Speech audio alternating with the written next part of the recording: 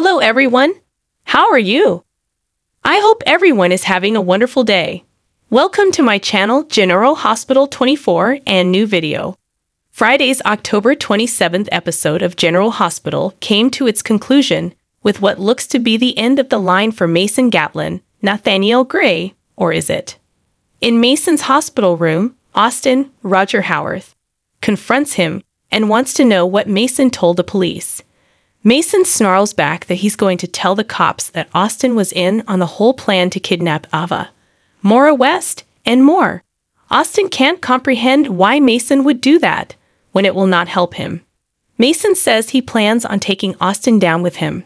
Earlier, TJ, Tajh Bellow, checked in on Mason, who was begging for more painkillers. TJ says he's being given the correct dose, but Mason starts yelling at him. It is then, and in a light bulb moment, that TJ recognizes Mason as the person who held him prisoner. TJ vows Mason will pay for it. Next, TJ visits Jordan's, Tanisha Harper, office and fills her in on his discovery. He wants Mason prosecuted. She tells TJ there is no evidence, but just to hold tight, as she plans on getting Mason behind bars for Ava's kidnapping. This does not sit well with TJ. He wants justice. Austin comes back to Mason's hospital room. He begins to close the blinds. Next, he puts on some surgical gloves.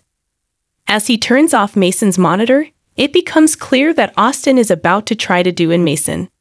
Mason dares Austin that he is too weak to carry this out. Austin balks, then grabs a pillow and begins to smother Mason's face in it. Just as TJ sees what's going on through the blinds on the outside of the hospital room, Austin is suffocating Mason to death. Next week's spoilers for GH share that on the Monday, October 30th episode, Austin drowns his sorrows. Are his sorrows for murdering cousin? Stay tuned.